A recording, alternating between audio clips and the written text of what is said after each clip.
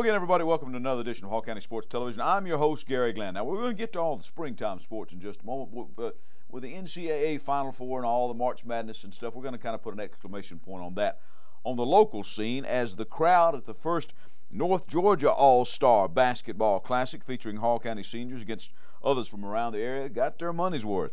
The girls' game featured an exciting end. Gainesville's Hunter Pugh hit a layup at the buzzer, which sent the game into overtime, tied at 68 68. Hall County Stars, playing on the black team, then took a 72 71 victory. North Hall's McKenna Rushton led the Blacks, scoring 25 points and grabbing 11 rebounds to earn MVP honors, while Gainesville's Rebecca Webster also scored 13 points for the Black.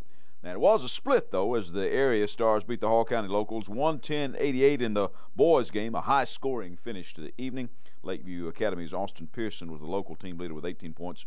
Johnson's Ty Odom added 10 more. We bring to the show now a couple of guys that were involved in the instigation of this. Adrian Penland, who played his high school ball here locally at West Hall, and Mario Mays, who played over at Gainesville High School. Gentlemen, thanks for coming in.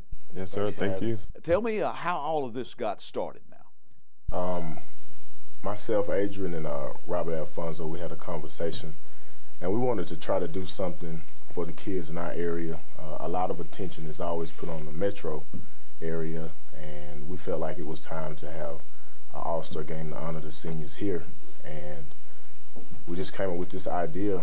Um, and our goal for the future is to hopefully make it an event where some of the kids in our area that haven't been seen mm-hmm. get an opportunity to um, be exposed, and some of the college coaches, Division two and junior college, can come up and actually uh, see what we have in our area. And uh, we actually had, I think, five to six coaches there this time, and we thought that was real good because we were kind of behind the ball yeah. um, with putting this event out there. But now we feel like with a year's time to plan to do it again next year, we'll have a, a whole lot better turnout from the coaches. And, and Adrian, we've got a number of colleges right in the area now that play basketball. Uh, Brenau, Piedmont, Truett McConnell, uh, Young Harris just up the road here. So this is a chance for them not to have to go to the metro Atlanta area and see some kids, right? Oh yeah, oh yeah. I mean, it was a great turnout and uh, it was a good game, and hopefully in the near future, most of them schools be at this game, and uh, I know they will because we got some talent, and uh, it was it was great. It was great. Were you surprised it came together so quickly? I know you said you got behind the eight ball a little bit. In fact, you, you finally just had to pick the kids, didn't you? Yeah. And, and in the future, that you want to get more coaches more involved. Right. Next year, we're going to have it where the, the, the local coaches they'll pick um, the seniors that they feel like deserve to be a part of the event. Mm-hmm, mm-hmm. So were you surprised that it, that it, turned out so well? I understand that, like I said, a high scoring game for the boys, a really, really close game, overtime game for the girls. Man, I was very surprised, man. We worked every night. Me, Mario, Rob, Jamil Hessler, uh, we worked every night on this, and the, for the turnout that we had, it was amazing. Looked like the kids had a good time too. They did. They did. I think they were just happy to be honored. And I think some of them having played against each other all season long, it, was kind of neat for them to play together. Oh yeah, yeah, it was very neat. Uh, actually, we was going to uh, separate them, and, and, at the beginning of the game, they were like, "No, we want the Hall County kids to stay together." So we just kept it like that. I think that's a good idea. Yep. I think that's a good idea. So, what do you hope to take this to now, the, the next level, as they say? Um, next year, what we plan to do is we plan to add a, a slam dunk contest a three-point competition. Um, this, you know, really make it just uh, a full-scale event for the community to come out and again honor the kids, and you know, with all that in together, like we said, also bring these college coaches up to get a look at some of the kids that maybe haven't signed already or haven't committed to a school. Now sometimes, you know, I mean, if you're really, really good, they're gonna find you, yeah. but occasionally they need another look, don't they? Right, oh, yeah. right, right. Yeah. And you know, like I said, I, I just feel like. Um, what I've seen in the past, everybody always flocks to the metro area. But you know, I really feel like it's it's, it's some talent here that deserve the opportunity to play, and maybe not everybody Division One, but you know, some Division Two, NAI, NAI, junior, junior college, college, absolutely. Right. And, and think if you put something on down in the Atlanta area too, sometimes Adrian, you just get lost, don't you? Yeah, you get lost, man. Just it's too many ball players and too many coaches, and there's some great ball players up here, and that's what we showcased last Friday. So. Well, you mentioned it was a lot of work, so there have to be some people you need to probably give a shout out and give some credit to. Yeah, we want to thank, uh, definitely thank Robert Alfonso and Jamil Hester. We also want to thank uh, Smokehouse Barbecue. Want to thank the Shane's Rib Shack. Right, uh, Long Street. Uh, Cafe. cafeteria. Um, we also want to thank um, all our coaches, Brenda Hill, Gilmore. want to thank Coach uh, Todd Cottrell, Coach Duke Mullis, and Coach Hazel Hall. They were the coaches for the for the That was teams, for- right? For the team. And uh, a special thanks goes out to um, Miss Elizabeth Carswell, Yeah. Miss Jamie Reynolds. Um, when we were sitting down, uh, just with this idea in, in the very beginning, you know, they, they pushed us and told us, hey, I think you got a good thing, and you know, I think you should go out and try to push it. And we want to thank Jacobs Media also for um, helping us out and, and the Times. In the town. And uh, also, we want to thank Joe Long for he did a lot of work for us, and uh, just the the body at Gainesville High School for letting us showcase this at their school. So Oh, that's, oh, that's a good place to do it too. And also, we have to thank uh, Nate with uh, Hobbs Sporting Oh, Goods man, for the uniforms. Yes. They did a great job. Yeah, I saw those. Those were- neat. That was, those look good. All right, guys. Good luck with this in the future. Great idea, Adrian Penland, Yes, Mario Mays. Thank you. Come back and talk to us some more about this. All right, we'll give you a, give you a plug or two here on uh, Hall County Sports. yes, sir. Thanks. In some other hoop news, the awards continue to pile up for North Georgia sophomore sensation and Gainesville High School alumnus. Let me do that again. Gainesville High School alumnus. Yeah, here we go. Now, in some other hoop news, the awards continue to pile up for North Georgia sophomore sensation and Gainesville High School alumnus Jamie Carnes. Following the most impressive single season performance in North Georgia women's basketball history, Jamie last week was named the Daktronics Division II National Player of the Year. The highest honor in the country comes as no surprise for the Soph, who was named the Peach Belt Conference Player of the Year and Southeast Region Player of the Year following her first season at the NCAA Division II level. Carnes becomes the first North Georgia women's basketball player also to be named an All American by the Women's Basketball Coaches Association. Jamie's just the second player in PBC history to lead the nation in scoring, averaging 25 points a game. She finished with 624 points scored, the 10th highest scoring total ever in the history of the Peach Belt Conference. She scored 30 plus points three times and had a career high of 40 points against Brenau. She finished second in the league and 15th in the nation in rebounds per game with 11.2 and recorded 20 double doubles that led all of the NCAA Division II. She also led the league and was ranked eighth nationally in blocks. She also set North Georgia records for total points in a season, scoring average in a season, and free throws made. The sharpshooter holds North Georgia NCAA Division II single game records for points in a game with 40, blocks in a game with 9, and field goals made in a game with 16, a mark she accomplished twice in a span of 35 days. Well, the Times basketball players from this past season were announced Sunday, and they were both from East Hall. Jasmine Jenkins for the girls and J.C. Hampton for the boys. Jazz Jenkins, by the way, will be competing in a three point contest put on by American Family Insurance this coming Friday night at the Alario Center in New Orleans. By the way, at North Halls, Christy House was the Times Girls Coach of the Year, and Dawson County's Thad Burgess got the nod as Boys Team Coach. And congratulations to the McEver Mustangs 12 and under girls who won the Hall County Championship recently, and congrats to the Flowery Branch Indians who did the same thing for the 10 and under girls. We're back to the diamond when Hall County Sports continues.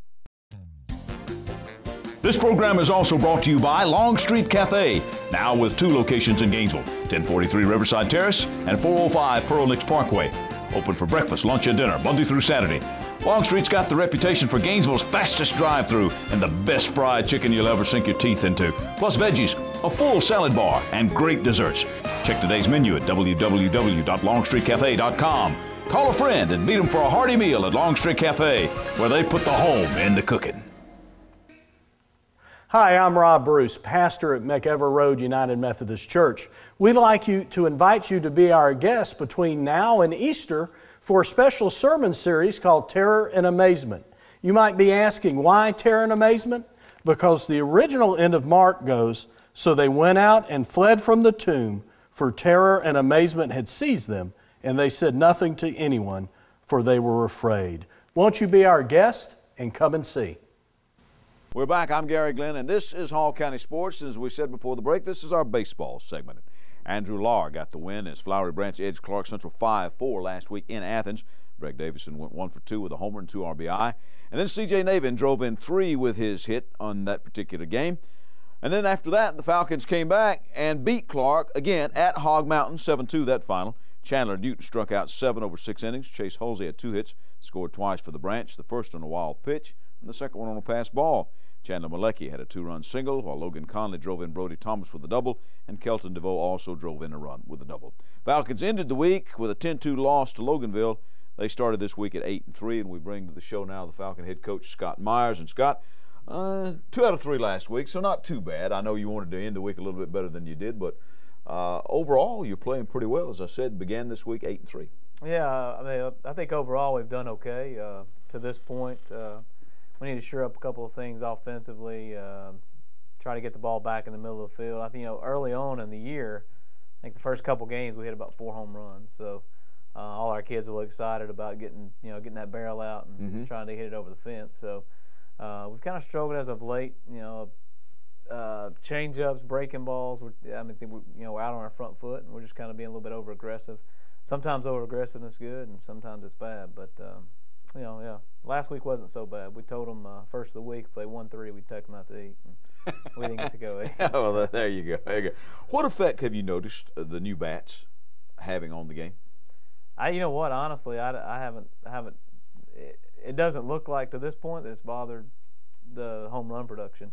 Um, you know, we still we we've been able to hit some balls hard in the gaps. We've been able to, I mean, hit some home runs. I think last year we ended up with 14 or 15 on the year, and probably to this date this year we've probably we'll probably cut it in half. So I haven't noticed a huge difference. Um, maybe a little bit less pop off the barrel, but you know it's it's sweet spot's a little yeah a little, little bit short, smaller. yeah, if you smaller. square it up, if you can hit, you can hit. You can hit with a wood bat. You can hit with you know you, you can hit. If you can hit, you can hit. And You square it up, and you're gonna be okay. But that's the thing that you think you need to shore up, as you said Absolutely, a little bit. Absolutely, yeah. I think that's where we're struggling right now. We're just you know I think we're just a little bit over aggressive, and you know we got we got some guys that have been in the they've been playing for us for the last three years, and now they're you know got a little bit of adversity and uh, they're struggling a little bit, and they thought it was going to come easy their senior year, and I think now they you know not necessarily that they took it for granted, but you know they had some good years last year and the year before, and they kind of look back saying uh, that they're going to jump right back in it and do the same thing they did last year, and uh, probably a little bit over aggressive, pressing a little bit the plate. So. Mm-hmm. Now, as I did the intro to the piece here, uh, I mentioned a lot of names, and, and right. apparently that's kind of the case. No superstars on this team. You just got people that, that kind of step up day to day. Yeah, that's that's that's where we got to be. I mean, we got to get some guys on, and and you're right. It's been it's been somebody different. It seems like every game. You know, CJ's had some good. He's had some clutch hits for us in a couple different games. Breck's done a good job. Um, Logan early did a good job for us, and you know those guys getting on in front of him, and um, yeah, it's been it's been a hodgepodge of, of, of success to this point. Is there a team in your region in Quad A that that's broken out right now, and is everybody's chasing, or is, is it kind of anybody's game? Right I'd now? say yeah, well, I'd say Loganville's. You know, they're the I think at the beginning of the season they ranked 25th nationally. Wow. So uh, or I, I, don't. It may have been even halfway through to this point, but I'm not sure. But at some point, they were ranked 25th in the nation. So, um, and we, like you said, we went over there and played them Friday night. And I think they're probably the the favorite to win it. Um, but you know, on our side, it's us, Winder. Um, I feel like us and Winder's the, the you know. Mm-hmm. I feel like we can if we can if we can take take care of business, we got a chance to, to win our side anyway. You like this little format of playing a guy at, at their place and then turn right around and playing him again at your place? No, I didn't. I didn't vote for that. But you know, what do you what, what are you gonna do? Yeah. Yeah, it's the region, and that's what they want to do. So it's different. I'll say that it's uh it's different. When I uh, I coached in Tennessee for um, nine years, and and one I mean there was a stretch there where we had district games the same way. We went Wednesday, Thursday, mm-hmm. or Thursday, Friday. We played district games Thursday, Friday. Um, and you know, you you you you at least see everybody's pitching style. So, yeah, there you go. You know, that's a that's a good part of it. But it, I mean, you know, it's it is what it is, and if you can't go out and take care of business on those days anyway, I mean, you better have more than one guy throwing for you anyway. So, yeah, and if you're, you're not going, if you can't do that, you're going to be in trouble anyway. Yeah. Yeah. So this, I think this is good in the sense that it, you know, kind of opens everybody up to the same kind of sense. Scott Myers, thanks for coming by. Thank you. Appreciate, Appreciate you having me. Ab- absolutely. absolutely. And good luck to the Falcons the rest yeah, of the way. Thank you. Appreciate it. In other baseball, North Hall got by Lumpkin County 6-4. Avery Smith struck out three and four in the third and getting the win. Zach Mize three for four. Andrew Smith two for two with an RBI. Jesse Strickland two for three with an RBI. Preston Graham then scattered four hits and got the complete game win as the Trojans shut out White County 2 0. Mize scored the first run as Strickland drove him in. Jesse then scored himself on an RBI bloop single by Wade Phillips. And despite Andrew Smith's homer, the Trojans ended the week with a 5 4 loss at Oconee County. Gainesville beat West Hall 13 5 in a game which seemed to be headed for a mercy rule decision before the Spartans rallied and forced it to go the distance. Big inning for the Elephants was a six run fourth. Stephen Mason got the win, striking out seven in four innings and retiring 11 straight Spartans at one point. Chet Petrie picked up the save. Michael Geddes was three for four with four RBI and two runs scored for the winners, while Cameron Johnson had three RBI, a stolen base, and a run scored for West Hall. David Gonzalez struck out eight in a complete game win for the undefeated Elephants in a 7 0 win at Oconee County. Mason doubled and scored twice, while Ryan Griffith drove in two runs. Then the Big Red Machine rolled on undefeated as they mercy ruled Franklin County 11 0. Hunter Anglin struck out seven and helped himself out with a two run homer, and Geddes, who relieved Anglin and struck out three, also homered a quick solo shot to left. And when your pitchers throw strikes and also hit home runs, you're pretty tough. Gainesville Bats also came alive as the top six hitters had at least one RBI each. Johnson got a three run homer and five RBI from Chris White as he went two for three in a 13 1 decision over Meadow Creek. Jordan Green struck out five in getting the complete game win. The Knights then won a 15 10 slugfest over White County as A.J. Benefield was three for four with a three run homer, a grand slam, and a two run double. And he also picked up the win in relief. Trey Wilson, two for two with a three run homer, a two run double, and five RBI, while Chris White was four for four for the Knights. East Hall edged Rabun County 8 7. C.J. White had two RBI with three hits as the Vikes won it on a bases loaded walk in the eighth. The Vikings then beat Rabun again 7 1. Jonathan Woodring scattered three hits in six innings and struck out nine. Hunter Buffington was 3 for 4 for the Vikes, and C.J. White smacked two doubles. Lakeview beat Tallulah Falls 11 5. Derek Fadul was 3 for 4 with two doubles. Harrison Stiles drove in two and doubled. Justin Muldowney struck out six and three in the third and got the win. Then the Lions beat Athens Christian 5 2. Stiles got the win with seven strikeouts, and Dakota Chalmers picked up the save with three Ks in the last inning. Ted Reynolds two for three with a double and two RBI for the Lions. Riverside's baseball team defeated Social Circle 9 for 4. Colin Patel was 3 for 3. Orlando Lynch 2 for 3. And Gabe Frazier 2 for 3 with a home run. While the pitchers, Jacob Harrison went 5 and 2 thirds with 10 strikeouts for the win, and Drew Coffey got the save. The Eagles had to come back on Prince Avenue Christian and tie the game at the top of the seventh on a homer by Lynch before going on to a 9 7 win. Lynch 2 for 3 on the night, while Coffey got the win with seven strikeouts and seven innings. He was also 2 for 4 at the plate. Christian Farrar struck out three in the two extra innings for that save.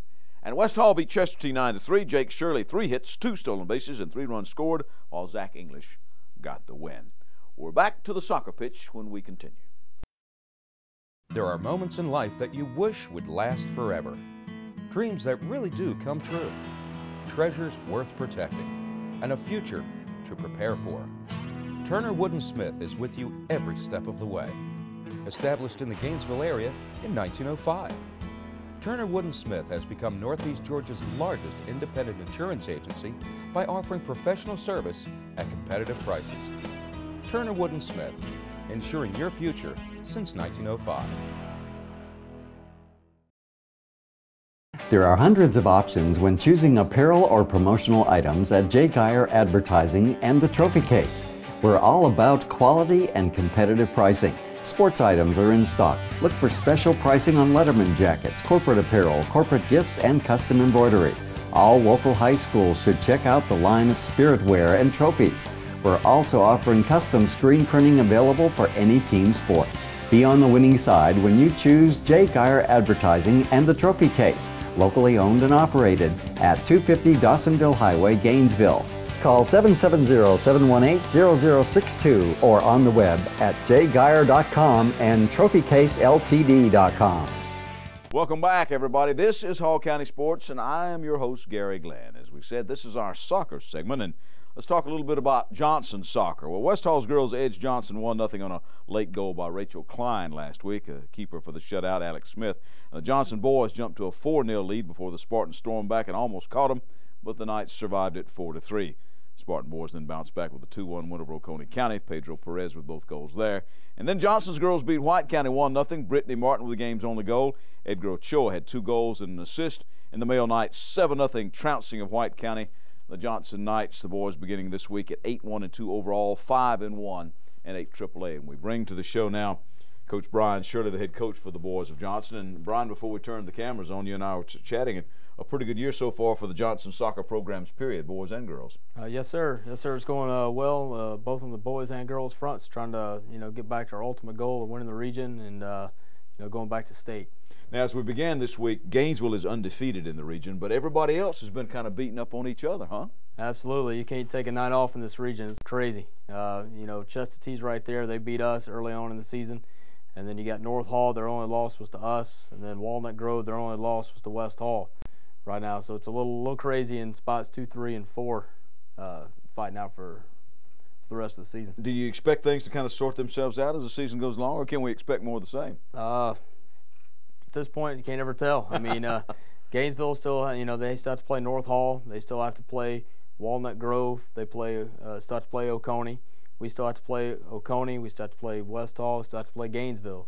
North Hall, uh, they still got a couple tough games left, as well as Chestatee. So we probably won't know for a couple more weeks exactly what's gonna what's gonna pan out.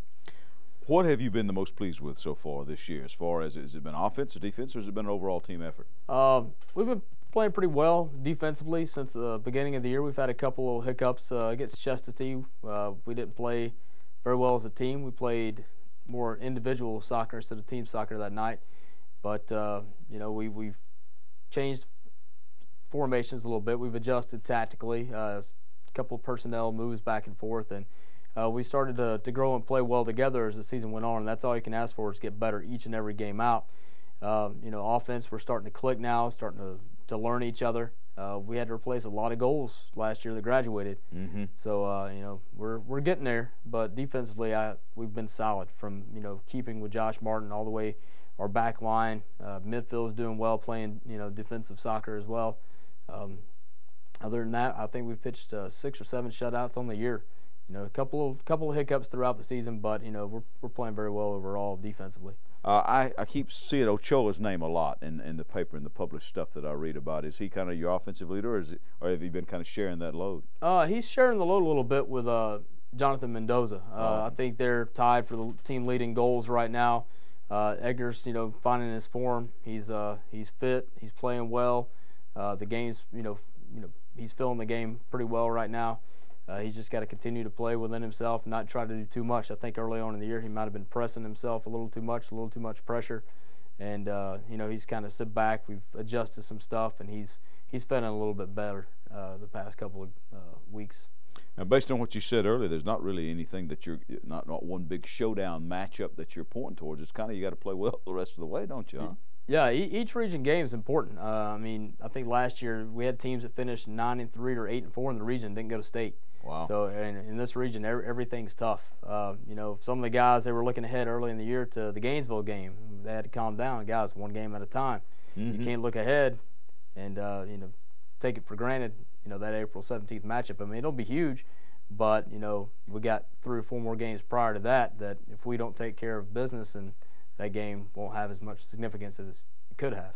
If there are there one or two key things, Brian, down the stretch that you say we've really got to do this to make the playoffs. Um, play our game. Uh, we've, we've got to play our game and not be drawn into playing an opposition style. We've got to stay within ourselves and play our game, and you know basically take it one game at a time. And you know when the opportunities are there, we've got to capitalize on the opportunities. You know we'll we'll create chances within the game, but we've we've got to make sure we finish the chances we create, and uh, play simple. That's the that's the big thing. Soccer is a simple game, but the hardest thing to do is to play it simple. is one of the one of the biggest quotes that uh, that you've that you've heard on the soccer world. So. Well, good luck to you the rest of the way, Brian Shirley, you, head coach of the Johnson boys soccer team. Thank you, sir. Turning to more soccer, the Flowery Branch girls rolled over Winder-Barrow 4 0. Cassidy Elrod with three goals and an assist. Lauren Dunn with another shutout in goal, while Leo Manzo had a hat trick as the Branch boys made it a sweep over the Barrow Bulldogs 8 0. The Branch girls' win streak, though, came to an end as Heritage edged them 2 to 1. J.C. Ramey with the Lady Falcons' lone goal. Kevin Restrepo had the Branch boys' only goal as they also lost 2 to 1, their first region loss of the year. North Hall's boys beat Oconee County 4 to 3 in overtime as Dylan Martin scored twice. And then the Trojan boys beat Lumpkin County 3 0. Zach Tibbs with the goal and assist. Lady Trojans got a hat trick from Tristian Bailey, and they're 4 0 blanking of Lumpkin. Ryan McCarno had his second hat trick of the season as Riverside, last week's HCS feature team, crushed Towns County 9 0. The Eagles were rated number 8 in the state last week, by the way. Marcano had another three goal performance as the Eagles ended the week with a 4 zip blanking of Georgia Military. Tatiana Castillo had five goals and an assist as East Hall beat up on Hart County 10 0, while Saul Lopez had a hat trick in the Viking boys' 8 0 win over Hart. Vikings then beat Dawson County in a game decided by penalty kicks on the boys' side. Hartley Carter had two goals as Gainesville's girls beat Chestatee 4 2. Liza Carpenter, officially signed on to play at Young Harris, scored a goal and assisted on one of Carter's. Sadie Foote had both of Chestatee's goals. Gainesville boys extended their winning streak to nine straight with their 6 0 win over the War Eagles. Aiden Rising and Merle Velasquez had two goals apiece of the Elephants' six tallies. And Lakeview's boys got a couple of goals each from Tyler Kimball and Dustin Snyder in a 5 3 win over George Walton. The Lady Lions beat GW 4 1 as Amy Groth and Carly Kinney had a goal and assist. And the boys also beat Jackson County 4 2 as Snyder had two more goals for Lakeview. Back to wrap it up when Hall County Sports concludes. Hi, I'm Rob Bruce, pastor at McEver Road United Methodist Church. We'd like you to invite you to be our guest between now and Easter for a special sermon series called Terror and Amazement. You might be asking, why terror and amazement? Because the original end of Mark goes, So they went out and fled from the tomb, for terror and amazement had seized them, and they said nothing to anyone, for they were afraid. Won't you be our guest and come and see? Hall County Sports is brought to you in part by Green Ford on Browns Bridge Road in Gainesville. Check out the latest deals. And remember, when you go green, go Green Ford. By Mountain View Auto Repair, a full service shop for all of your automotive needs. Call Danny at Mountain View Auto Repair at 770 535 7278 and by McEver Road United Methodist Church. Visit us on McEver Road in Oakwood with three worship services every Sunday morning, Kids Town and adult small groups. McEver Road United Methodist Church is dedicated to transforming the world through the good news of Jesus Christ. Back, I'm Gary Glenn, wrapping up Hall County sports for this week. Track and field last week. North Hall won a meet with Johnson and East Hall, led by Gabrielle Hoffman's first in the pole vault and high hurdles. But what a meet for Johnson's Latavia Cheeks who won the long jump, won the triple jump, won the 400, and ran on both winning relay teams. North Hall, by the way, also won the boys' side that particular evening, led by the Cross brothers. Imani won the shot put, and Thillo both hurdle races. Jamon Witt won the 100 and high jump and ran on East Hall's winning 400 relay team for the Vikings side of things. At the Longhorn Invitational at Sugar Hill, West Hall's girls beat Gainesville, Chestatee, and Lumpkin County. Lanisha Kersh won the high hurdles and was third in the intermediate hurdles for Gainesville. Maya Caldwell Booker won the long jump and 200 and ran second in the 100 for the Lady Elephants. In tennis, Johnson's girls and boys swept East Jackson 5 love. Gainesville boys also shut out Johnson 5 0, and Johnson's boys edged Monroe area 3 2, and the girls shut out the Lady Hurricanes. Lakeview's boys beat Jefferson 4 1, while Chestatee's boys edged Lumpkin County 3 2 and White County by that same score, and the Lady War Eagles beat White 4 1. East Hall beat Banks County 4 1 in boys play. North Hall's boys got by Franklin County 3 2, while the Lady Trojans shut out Lumpkin County. Flower Branch's girls shut out Madison County 5 love, and both branch teams beat Winder 5 love. Riverside tennis began last week, rated number 8 in the state, and they beat Lakeview 3 2. Okay, time now to name our athletes of the week, both from Johnson this week. For the males, A.J. Benefield for his great game against White County. Not only got the win, he hit two home runs, won a grand slam. And for the females, Latavia Cheeks, Lady Knights Track and Field had a part of five first places last week. And finally, the McEver Road United Methodist Men's Club will be sponsoring a golf tournament on April the 14th at Mossy Creek Golf Course in Cleveland. Format will be a four-man scramble. There'll be prizes for closest to the pin and a long drive contest. Prizes will be awarded to the first and second place teams as well. Cost for entry only $50 a person or $200 a team. Entry fee will cover not only your green fees, but your cart, goodie bag, and lunch and the cost for sponsoring a hole, only 50 bucks as well. All proceeds from the tournament used by the McEver Road United Methodist Men's Club for their projects. Check should be made out to the McEver Road UMC Men's Club, and for more information, you can call Lloyd Smee at this number, 770-967-3206. Again, 770-967-3206. Until next week, I'm Gary Glenn, Hall County Sports. Uh.